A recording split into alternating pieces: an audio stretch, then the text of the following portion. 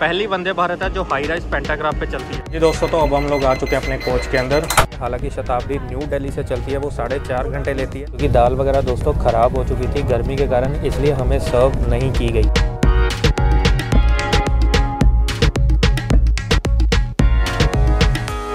Good evening everyone कैसे हैं आप सभी लोग? आई होप कि आप सभी लोग एकदम बढ़िया होंगे। दोस्तों, एक बार फिर से मैं आप सबका करता हूँ वेलकम एक और नए ब्लॉग में। तो मैं इस टाइम खड़ा हूँ दिल्ली कैंट के रेलवे स्टेशन पे और आज का ब्लॉग होगा दोस्तों एक ट्रेन जर्नी जी हाँ आज हम सफ़र करेंगे दिल्ली से लेकर जयपुर तक इन दिल्ली अजमेर वंदे भारत एक्सप्रेस। वैसे दोस्तों, इस ट्रेन से जुड़ी सारी इन्फॉर्मेशन जैसे कि टिकट प्राइसेस वगैरह क्या है कितना हम डिस्टेंस कवर करेंगे जयपुर तक? खाने में हमें क्या क्या मिलेगा? टिकट कॉस्ट वगैरह क्या है? ये सारी इन्फॉर्मेशन मैं आपको इस ब्लॉग में दूँगा। लास्ट टाइम हमने सफ़र किया था देहरादून दिल्ली वंदे भारत एक्सप्रेस में और मैंने उसी में आपको बता दिया था कि अगली जो हम जर्नी कवर करेंगे, वो होगी वंदे भारत की दिल्ली से लेकर जयपुर तक। दोस्तों, पहले करते हैं बोर्ड अपनी ट्रेन सामान वगैरह रखते हैं, क्योंकि अभी बीस पच्चीस मिनट है ट्रेन चलने में। पहले सामान रख देते हैं, उसके बाद मैं थोड़ी सी ज़रूरी इन्फॉर्मेशन देता हूँ आपको इस ट्रेन के बारे में।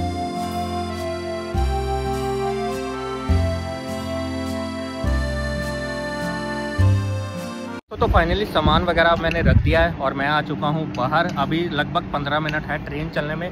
दोस्तों, कुछ ज़रूरी इन्फॉर्मेशन आपके साथ शेयर कर दूँ इस ट्रेन के बारे में। आज हम दोस्तों, जिस ट्रेन में ट्रैवल कर रहे हैं, इसका ट्रेन नंबर है टू ये दिल्ली कैंट से चलेगी छः बज के चालीस मिनट को शाम में और हमें जयपुर उतार देगी दस बज के पाँच मिनट पर वैसे ये अजमेर तक जाती है, लेकिन हमारा सफ़र सिर्फ़ जयपुर तक होगा। 300 किलोमीटर का डिस्टेंस दोस्तों हम कवर करेंगे तीन घंटे 25 मिनट में, और ये ट्रेन हॉल्ट लेगी दिल्ली कैंट से निकलने के बाद सबसे पहले गुड़गांव, उसके बाद अलवर उसके बाद होगी हमारी डेस्टिनेशन जयपुर और उसके बाद इसकी लास्ट स्टॉपेज डेस्टिनेशन होगी अजमेर। वैसे दोस्तों, अगर इस ट्रेन की टाइमिंग की बात की जाए तो ये शाम को छः बज के चालीस मिनट पे दिल्ली कैंट से निकलती है और रात को लगभग बारह बजे आपको अजमेर पहुँचा देती है। सुबह दोस्तों, ये अजमेर से निकलती है लगभग छः बज के बीस मिनट पे और साढ़े ग्यारह के अराउंड आपको दिल्ली कैंट उतार देती है।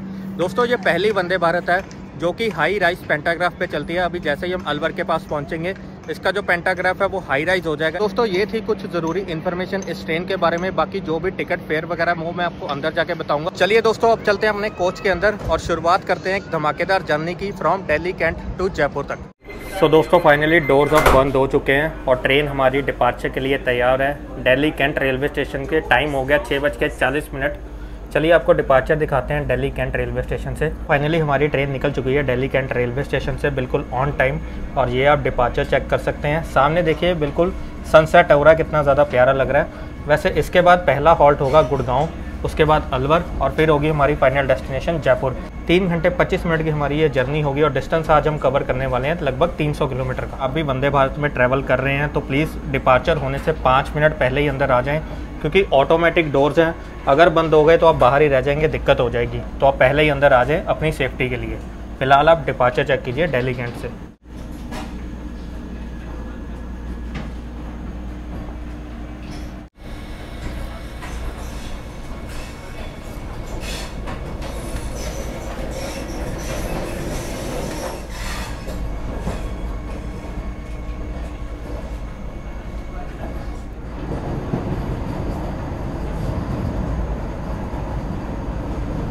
हाँ जी तो दोस्तों ट्रेन अब हमारी निकल चुकी है। दिल्ली कैंट से रफ्तार पकड़ लिया ट्रेन ने। और चलिए कोच में अंदर जाने से पहले थोड़े से आपके साथ फीचर शेयर कर ली जाए स्टेज के बारे में। दरवाजे के दोनों तरफ़ दोस्तों सीसीटीवी कैमरास लगे हुए हैं आपकी सेफ्टी के लिए। हमारा कोच है वैसे सी फाइव ये है इधर सी फोर दो तरह के आपको टॉयलेट्स मिल जाते हैं दोस्तों, एक वेस्टर्न और एक इंडियन आपकी मर्ज़ी आप जोन सा मर्ज़ी ऑप्ट कर सकते हैं। इनके डोर्स की बात की जाए तो दोस्तों ऑटोमेटिक है। जब भी डिपार्ट होने लगी हो, आप पाँच मिनट पहले ही अंदर आ जाएँ। यहाँ पे है दोस्तों पुश टू टॉक का सिस्टम अगर आपको कोई भी इमरजेंसी है, अगर आपने ट्रेन मैनेजर के साथ बात करनी है, आपका एसी नहीं चल रहा है या कोई भी और इमरजेंसी है तो आप इसको दबा के बात कर सकते हैं। लेकिन एक बात का ख्याल रखिएगा कि इसको तभी दबाएँ जब कोई एमरजेंसी हो। अगर आप ऐसे ही दबाएँगे तो आपको जुर्माना वगैरह भी हो सकता है। इसके अलावा दोस्तों, इधर साइड पेंट्री यहीं से ही हमें फ़ूड वगैरह सर्व होकर आता है। दोस्तों इवनिंग स्नैक्स की तैयारी हो रही है, देखेंगे इवनिंग स्नैक्स में हमें क्या मिलता है, मैं आपको दिखा दूँगा। दोस्तों फ़र्स्ट एड किट की भी ऑप्शन है। अगर आपको कोई भी मेडिकल इमरजेंसी है तो आप इनसे कॉन्टैक्ट कर सकते हैं, इसको ऑप्ट करने के लिए। चलिए, अब चलते हैं अपने कोच के अंदर।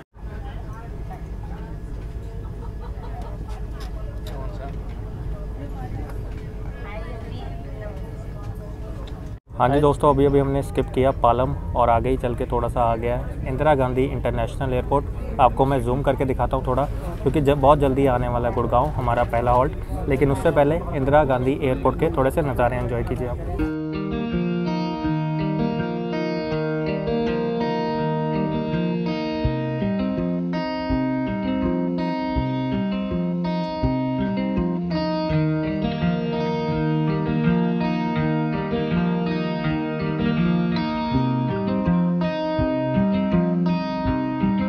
सो so, दोस्तों दिल्ली कैंट से निकलने के बाद ट्रेन अब हमारी अपने पहले हॉल्ट पे पहुँचने वाली है जो कि है गुड़गांव। गुड़गांव दोस्तों एनसीआर का ही पार्ट है। बड़ी बड़ी एम का हब है ये। काफ़ी लोग दूर दूर से आते हैं यहाँ पे काम करने के लिए। कुछ लोग फ्रस्ट्रेट होकर कुछ सालों के बाद अपने घर जाते हैं और कुछ लोग यहाँ पे अपनी ज़िंदगी बनाते हैं। यही है गुड़गांव की कहानी। वैसे दोस्तों मैं मज़ाक कर रहा था। वैसे कॉर्पोरेट में आपको पता ही है मैं खुद कॉर्पोरेट में वर्क कर चुका हूँ। पहले अभी भी करता हूँ। तो मुझे पता है नोएडा, गुड़गांव की कहानी, मैं भी नोएडा में जॉब करता हूँ। और जो भी था दोस्तों, बिल्कुल मज़ाक किया था मैंने, कोई भी सीरियसली मत लेना, गुड़गांव, नोएडा वाला। चलिए आप अब गुड़गांव का अराइवल देखिए। सिर्फ़ दो मिनट का हमारा यहाँ पे हॉल्ट होगा। यहाँ से भी काफ़ी जैम पैक होगी हमारी ये ट्रेन और ये आप अराइवल चेक कर सकते हैं।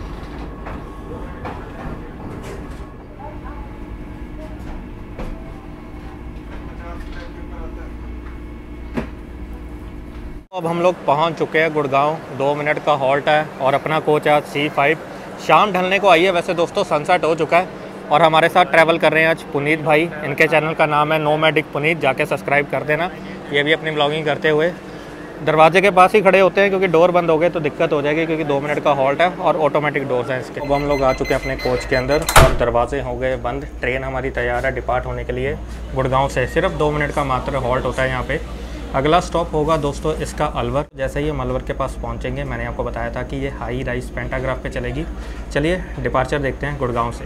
दोस्तों ट्रेन ज़्यादा दिल्ली कैंट और गुड़गांव से ही जैम पैक होती है और यहीं से जब सुबह आती है अजमेर से तो गुड़गांव में मोस्टली खाली हो जाती है।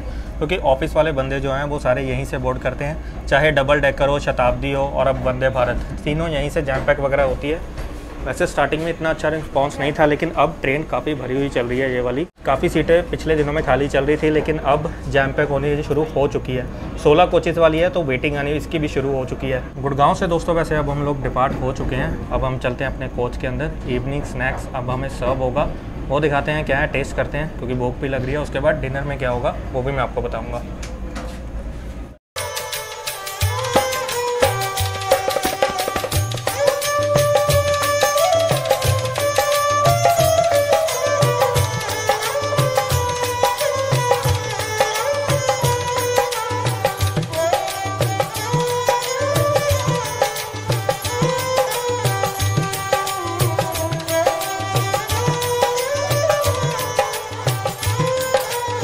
ट्रेन अब हमारी गुड़गांव से निकल चुकी है। रफ्तार पकड़ लिया ट्रेन ने।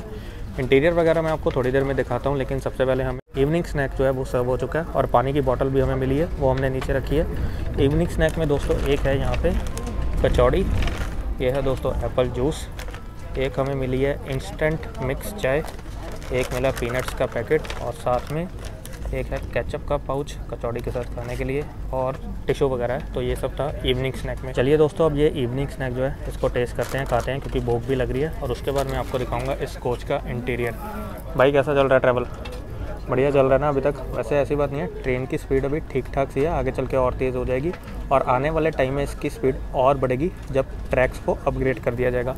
चलिए इवनिंग स्नैक्स को एंजॉय करते हैं और बाकी की बातें आगे चल के कंटिन्यू करते हैं। दोस्तों, अभी इवनिंग स्नैक्स हम टेस्ट कर रहे थे, ये जो कचौड़ी है, बिल्कुल एकदम गर्मा गर्म है और काफ़ी ज़्यादा टेस्टी है। गर्म पानी हमें सर्व हो चुका है चाय बनाने के लिए। ये है दोस्तों एप्पल जूस जो कि एज अ टिपिकल इंडियन हमारे बैग में जाएगा, इसको हम पियेंगे कल को। ये है पीनट गिच्ची। ये अभी हम खा लेंगे। वैसे ये पैक का तो मैं ज़्यादा रिव्यू नहीं करूँगा, लेकिन ये कचौड़ी काफ़ी ज़्यादा बढ़िया टेस्टी और गर्म थी एकदम। दोस्तों तो देखते ही देखते अब हम स्किप कर रहे हैं रेवाड़ी। रेवाड़ी की दोस्तों, वैसे रेवड़ियाँ काफ़ी ज़्यादा फ़ेमस है। वैसे यहाँ पे हॉल्ट वगैरह नहीं है हमारा। यहाँ से दोस्तों, वैसे काफ़ी लाइनें डाइवर्ट होती हैं। जैसे कि दोस्तों, यहाँ से एक लाइन रोहतक के लिए, भिवानी के लिए और इंगस के लिए भी निकल जाती है। हमारा स्टॉप यहाँ पे नहीं है, हम स्किप करते हुए। अगला स्टॉप हम सीधा लेंगे अलवर। जी तो दोस्तों, आठ बजने वाले हैं और अलवर आने वाला इवनिंग स्नैक्स हमने ख़त्म कर लिया है। अब मैं दोस्तों दिखाता हूँ आपको इस कोच का इंटीरियर वैसे काफ़ी बार मैंने दिखाया हुआ है सेम ही है, कुछ ज़्यादा चेंज नहीं है। फुटरेस्ट है दोस्तों, नीचे ठीक ठाक सा, नीचे दिया हुआ है वाटर बॉटल होल्डर ये है दोस्तों मैगजीन कवर यहाँ पे आप अपनी अखबार और मैगजीन वगैरह रख सकते हैं। ये है दोस्तों फ़ूड ट्रे इसको खोल के आप खाना वगैरह रख के खा सकते हैं। चार्जिंग पॉइंट दोस्तों इसका नीचे है, ये देख सकते हैं आप, लैपटॉप फ़ोन अपना चार्ज कर सकते हैं। ऊपर दोस्तों सेंसर लाइट्स दी हुई हैं, इसको टच करके आप दबा सकते हैं। लगेज स्पेस अच्छा खासा दिया हुआ है यहाँ पे। सफ़ाई वगैरह काफ़ी है कोच में। सामने दोस्तों एक स्क्रीन वगैरह भी दी हुई है, जिसमें कितना डिस्टेंस हम कवर कर लिया कौन सा स्टेशन आने वाला सारा कुछ आपको डिस्प्ले में शो होता है। सीसीटीवी कैमराज अंदर और पुश टू टॉक का सिस्टम भी अंदर लगा हुआ है। सीट लेआउट की बात करें तो दोस्तों थ्री बाई टू का सीट लेआउट है, तीन इधर, दो इधर। एग्जीक्यूटिव में दोस्तों टू बाई टू का होता है। एग्जीक्यूटिव में आप 180 डिग्री पे रोटेट कर सकते हैं सीट इसमें नहीं कर सकते इसमें बस आप पुश बैक थोड़ा सा रिक्लाइन कर सकते हैं बटन दबा के। तो ये था इंटीरियर एसी चेयर कार था। बाहर दोस्तों अब अंधेरा कुछ ज़्यादा नज़र आ नहीं रहा। डिनर वगैरह जब सब होगा आपको बता देंगे। अलवर आने वाला है अलवर में उतरेंगे हम। दो मिनट का हॉल्ट होगा। और अलवर किस चीज़ के लिए फ़ेमस है वो भी मैं आपको बताऊँगा।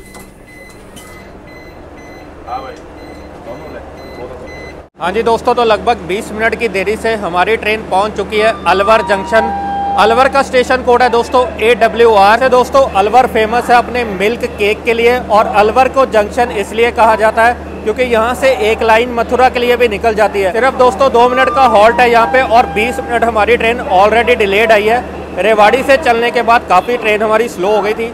तो इसलिए चलते हैं कोच के अंदर। क्योंकि अगर डोर्स बंद हो गए तो दिक्कत हो जाएगी। मैं आ गया हूँ अपने कोच के अंदर और सामने लगी हुई है उदयपुर जम्मू तभी गरीब रथ एक्सप्रेस।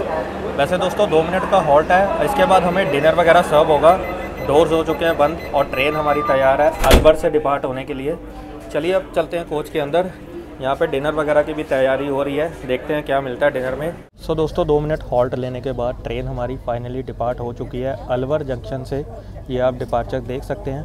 अगला स्टॉप होगा दोस्तों इसका जयपुर और वहीं पे हम उतर जाएँगे। वैसे ये ट्रेन जाएगी अजमेर तक लेकिन दोस्तों हम ट्रैवल कर रहे हैं जयपुर तक। और छूटते ही दोस्तों ट्रेन ने काफ़ी स्पीड पकड़ लिया क्योंकि ऑलरेडी डिलेड है। सामने दोस्तों देखिए गरीब रथ उदयपुर से जम्मू तवी तक के लिए। जी दोस्तों तो ट्रेन अब हमारी फाइनली डिपार्ट हो चुकी है अलवर से। 15-20 मिनट ऑलरेडी डिलेड चल रही है हमारी ट्रेन दोस्तों, जैसे कि मैंने आपको बताया था कि हमारी जो ये ट्रेन जर्नी है, वो है तीन घंटे 25 मिनट की जयपुर तक। फेयर्स की दोस्तों बात करें तो जो एसी चेयर कार में हमने पे किया है, वो है लगभग ग्यारह सौ रुपये पर पर्सन दिल्ली से जयपुर तक। अगर दोस्तों आप एग्जीक्यूटिव में सफ़र करते हैं तो आपको फेयर पड़ेगा लगभग उन्नीस सौ रुपये दिल्ली से जयपुर तक। अगर आप अजमेर तक करते हैं तो फेयर्स थोड़ा सा बढ़ जाएगा। मील्स वगैरह दोस्तों आपकी इंक्लूड होती है इसमें। आपको इवनिंग स्नैक्स और डिनर दिया जाता है। अगर आप दोस्तों मॉर्निंग में सफ़र करते हैं तो फेयर लगभग सौ, डेढ़ सौ रुपये कम होगा, लेकिन उसमें सिर्फ़ आपको ब्रेकफास्ट सर्व किया जाता है। कुछ भी लंच वगैरह नहीं दिया जाता। तो ऑनेस्टली बताऊँ तो फेयर मुझे भी थोड़ा सा ज़्यादा लगा दिल्ली से जयपुर तक के लिए ग्यारह सौ रुपये अगर आप दोस्तों शताब्दी में सफ़र करते हैं तो वही आपको सात, आठ सौ रुपये पे करना पड़ता है। अगर आप डबल डेकर में जाते हैं तो लगभग आपको पाँच, साढ़े पाँच सौ रुपये पे करना पड़ता है। ये टाइम थोड़ा सा कम लेती है, ये दिल्ली कैंट से चलती है। हालाँकि शताब्दी न्यू दिल्ली से चलती है, वो साढ़े चार घंटे लेती है और लगभग चार घंटे बीस मिनट लेती है डबल डेकर तो टाइम में इतना ज़्यादा फ़र्क नहीं है, इसको दिल्ली कैंट से चलाया गया थोड़ा टाइम सेव करने के लिए, ये दिखाने के लिए ये फास्टेस्ट ट्रेन है, लेकिन ये फास्टेस्ट नहीं है टू बी ऑनेस्ट तो दोस्तों, ये थी कुछ टिकट फेयर्स की कहानी वंदे भारत की। अब दोस्तों, हमें डिनर वगैरह सर्व होगा, देखते हैं डिनर में क्या क्या हमें मिलेगा। सारा कुछ मैं आपको बताऊँगा, दिखाऊँगा और एंड में रिव्यू भी करेंगे फ़ूड का। और इस ट्रेन का भी रिव्यू करेंगे। जब हम जयपुर पहुँच जाएँगे। तो पंद्रह बीस मिनट ये ट्रेन हमारी ऑलरेडी डिलेड चल रही है तो देखते हैं जयपुर हम टाइम से पहुँचते हैं कि नहीं। दस बज के पाँच मिनट का टाइम है जयपुर पहुँचने का इसका। डिनर वगैरह सर्व होना शुरू हो गया वेट करते हैं। चैनल पे नए हैं तो दोस्तों सब्सक्राइब ज़रूर कर लेना। चलिए करते हैं डिनर और बाकी की बातें जयपुर जाके करते हैं। हाँ जी दोस्तों तो फाइनली अब हमें फ़ूड सर्व हो चुका है। पहले मैं आपको वेज में दिखा देता हूँ, उसके बाद नॉन वेज में। वैसे ज़्यादा फ़र्क नहीं है। वेज में देखिए दोस्तों, हमें मिली है ये दो पराठे। प्लेन पराठा ये, उसके बाद राइस और पनीर की सब्ज़ी। सब्ज़ी आज हमें एक ही मिली है। मैंने पता किया क्यों? क्योंकि दाल वगैरह दोस्तों ख़राब हो चुकी थी गर्मी के कारण, इसलिए हमें सर्व नहीं की गई। वरना हमें दाल भी मिलती साथ में, अभी मैंने पूछा। लेकिन हमें सिर्फ़ एक सब्ज़ी सर्व हुई है इसी कारण। साथ में दोस्तों ये कटलरीज सॉल्ट एंड पेपर और ये अचार। तो ये मिला है हमें वेज खाने में। दही भी मिली है। नॉन वेज में दोस्तों पनीर की जगह सिर्फ़ चिकन है। बाकी सब ताम जाम सेम है। तो ऐसा कुछ डिनर वेज और नॉन वेज हमने दोनों अलग अलग ऑप्शन कराई थी आपको दिखाने के लिए। हाँ लेकिन एक सेट सेटबैक ये है, दोस्तों, की दूसरी सब्ज़ी नहीं मिली दाल।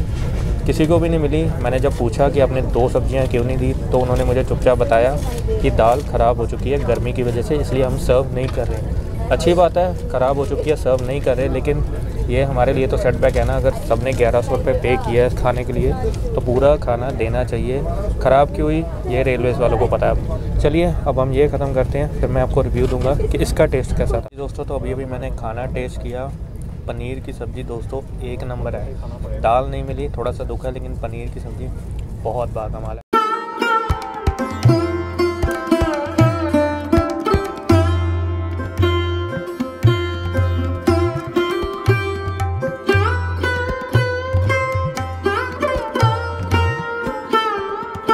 तो डिनर वगैरह अब हमारा हो चुका है और डिनर के बाद मिली है हमें ये वनीला आइसक्रीम। पहले डिनर का रिव्यू दे दूँ आपको तो दोस्तों, सब्ज़ी काफ़ी ज़्यादा बढ़िया थी, पनीर की नो डाउट टेस्ट बहुत कमाल का था यार, बहुत फ्रेश थी। और चावल भी काफ़ी अच्छे थे, रोटी काफ़ी गर्म थी, ये बात है। एक बात का मलाल है, बस कि दाल हमें नहीं मिल पाई, क्योंकि दाल मैंने आपको जैसे बताया कि ख़राब हो चुकी थी। कुछ कुछ कोचिज़ में मिली है कुछ कुछ में नहीं मिली है। किसको ब्लेम करें, किसको नहीं, इस बात का मलाल ज़रूर है कि हमने ग्यारह सौ रुपये पे किया तो इन चीज़ों का ख्याल रखना चाहिए रेलवे वालों को। हम दोस्तों उनको ज़्यादा ब्लेम भी नहीं कर सकते, क्योंकि ये एक नेचुरल चीज़ है। ख़राब हो गई तो अब हम ज़्यादा नहीं बोल सकते हैं। बट हाँ टेस्ट काफ़ी अच्छा था। मुझे लगता कि दाल भी बढ़िया ही होगी, बट हमारी किस्मत में नहीं थी। चलो, वो बात अलग है। अब हम दोस्तों आइसक्रीम टेस्ट करते हैं। अभी 35-40 मिनट में हम पहुँच जाएँगे जयपुर। दोस्तों तो आइसक्रीम वगैरह भी खा ली हमने और स्पीड देखिए आप ट्रेन की। One eight, one five, one ten ऐसे चल रही है। एक सौ दस, एक सौ ग्यारह से ज़्यादा नहीं जा रही है। मैक्स स्पीड जो इसको दी हुई है इस रूट पे, वो है वन टेन की। इससे ज़्यादा नहीं चलेगी। हालाँकि बाकी वंदे भारत 130 पे चलती है, जो भोपाल वाली है, वो आगरा तक 160 पे चलती है। लेकिन इसकी मैक्स स्पीड 110 ही दी हुई है। बाहर दोस्तों, अंधेरा है। जयपुर आने वाला है। फाइनल रिव्यू में आपको दूँगा, उतर के। अब हम लोग पहुँच चुके हैं अपनी फाइनल डेस्टिनेशन जयपुर। लगभग पाँच सात मिनट डिलेड हो गई यहाँ आते आते वैसे अलवर तक 20 मिनट डिलेड थी, लेकिन थोड़ा सा कवर कर लिया था। जयपुर के आउटर पे थोड़ी सी रुक गई थी, इसलिए पाँच सात मिनट फिर से डिलेड हो गई। अब दोस्तों बात करते हैं इस जर्नी की। जर्नी काफ़ी बढ़िया थी। पता ही नहीं लगा वैसे तीन घंटे पच्चीस मिनट कहाँ निकल गए। साफ़ सुथरी ट्रेन थी सर्विसेज़ काफ़ी ज़्यादा बढ़िया थी। एक चीज़ जो मुझे खटकी, वो मैंने आपको बता दिया कि खाने में वो दाल मिली नहीं हमें। चलो वो चीज़ खटकी।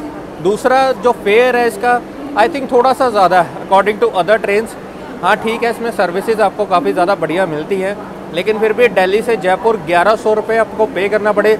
तो मुझे लगता है थोड़ा सा ज़्यादा as according to double decker और शताब्दी। तो दोस्तों, ये थी दिल्ली अजमेर वंदे भारत की जर्नी जयपुर तक। आपको ये जर्नी कैसी लगी, मुझे कमेंट बॉक्स में ज़रूर बताना।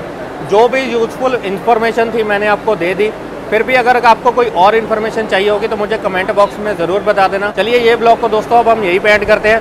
फटाफट होटल लेते हैं, क्योंकि मौसम काफ़ी ख़राब लग रहा है जयपुर में। ब्लॉग्स अब आपको मिलते रहेंगे। कल सुबह भी हमने एक ट्रेन जर्नी करनी है। और दोस्तों, परसों भी हमने एक तेजस की ट्रेन जर्नी करनी है। तो बैक टू बैक ब्लॉग्स आने वाले हैं। काफ़ी लंबा टूर है ये। चैनल पे नए हैं तो सब्सक्राइब ज़रूर कर लेना।